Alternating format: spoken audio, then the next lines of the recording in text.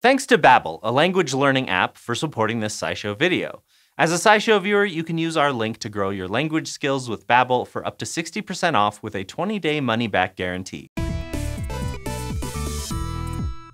When you picture a jellyfish, you probably think of this. The jellyfish that many people know and love is the Scyphozoan medusa. But that same animal can also look like this. That's what the Scyphozoan polyp looks like, and it's another stage of this class of jelly's life cycle, one that often comes before the medusa phase, like how toddlers come before middle-aged people. And yeah, it looks nothing like the medusa you may be used to seeing. They look so unrelated that originally researchers thought the different stages of the jellyfish life cycle were completely separate animals. And the more scientists learn about jellies, the more they realize that these life cycles are even more nuanced than that.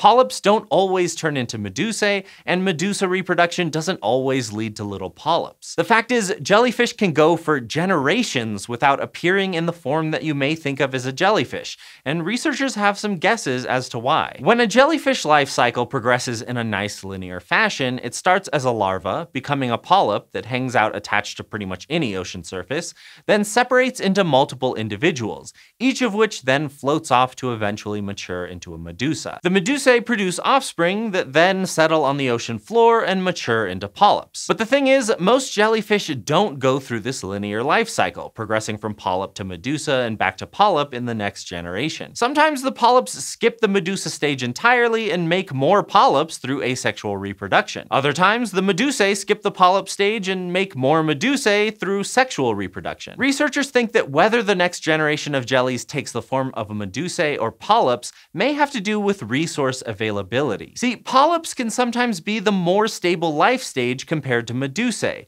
so when resources are hard to come by or when the environment becomes unwelcoming, jellyfish might err on the side of caution and make more polyps. And that stability comes in part from how they reproduce. One polyp doesn't need the help of another polyp to reproduce. They can release the juvenile form of medusae or grow new polyps on their own. So they can replace themselves faster than medusae, making the population more resilient to threats like being eaten into extinction. It could also have something to do with how long they can stay in that state, because immature polyps seem to last longer than other stages. Now, stability is great, so if the Medusa stage is less stable, why grow into them at all? Well, it's still worth it for some jellies to become Medusae because they can reproduce sexually. So the species is stronger when Medusae get the chance to make little baby jellies. And that's because sexual reproduction allows a species to increase its genetic diversity, so they can adapt to new environments faster, outcompete other animals, and avoid new predators. Polyps that make polyps, as stable as they may be, do it through asexual reproduction, so they don't bring those benefits to the seafloor. Now, you might have heard that some jellyfish can live forever, which would make all this talk about jellyfish generations a little unexpected.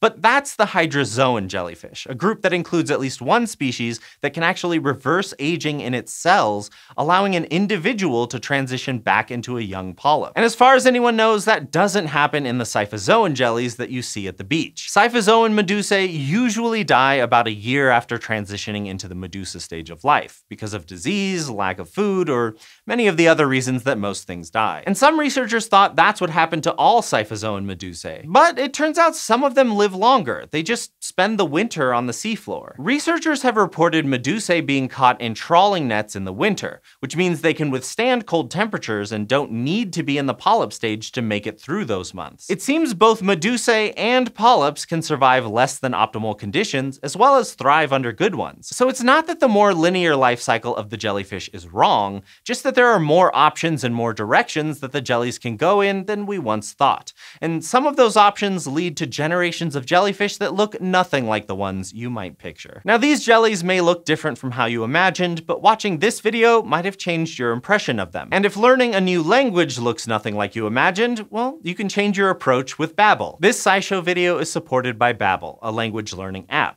As an app, Babbel lets you learn on the go outside of the classroom while still keeping the high quality instruction of real language teachers. You can get the same kind of live classes without having to go to a classroom, or you can learn in completely new ways with Babbel's podcasts and games. Language is more than vocab words. It's a way to relate to other people. So Babbel teaches you how to speak a new language and puts it into context by teaching the traditions, food, and history of the people who speak that language. As someone who watches SciShow, you can get up to 60% off this full language experience when you sign up using the link in the description down below. And Babbel comes with a 20-day money-back guarantee, so you can start your language learning journey without hesitation.